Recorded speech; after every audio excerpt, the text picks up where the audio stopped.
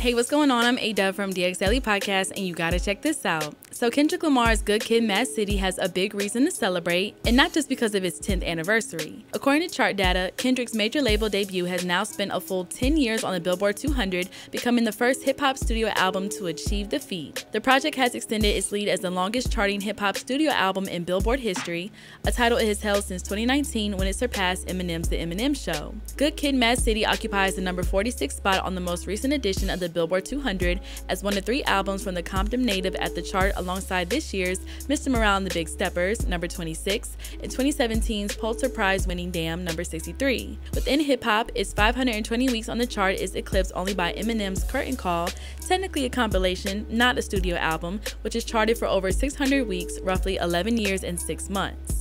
Released on October 22, 2012 via Top Dawg Entertainment, Interscope, and Aftermath, Good Kid Mad City made a huge splash upon its arrival and was deemed an instant classic by some. Home to hits like Swimming Pools, Bitch Don't Kill My Vibe, and Backseat Freestyle, the coming of age album debuted at number 2 on the Billboard 200 after selling 242,000 copies in its first week. It also yielded multiple nominations at the 2014 Grammy Awards, where it lost out to Macklemore and Ryan Lewis's The Heist in the Best Rap Album category. Good Kid Mad City's popularity popularity has only endured, particularly among vinyl collectors. Last year, it reigned supreme as the highest selling rap album on the format, having shifted 194,000 units in 2021 alone. The album has since been certified triple platinum by the RIAA, commemorating at least 3 million sales in the US. Most recently, Good Kid Mad City was crowned the greatest concept album of all time by Rolling Stone, ahead of imaginative efforts from the Beatles' Sgt. Pepper's Lonely Hearts Club Band, Pink Floyd's The Wall, and Raekwon's Only Built for Cuban Links. We all know Good Kid Mad City is a classic album, but what was your favorite song on the album?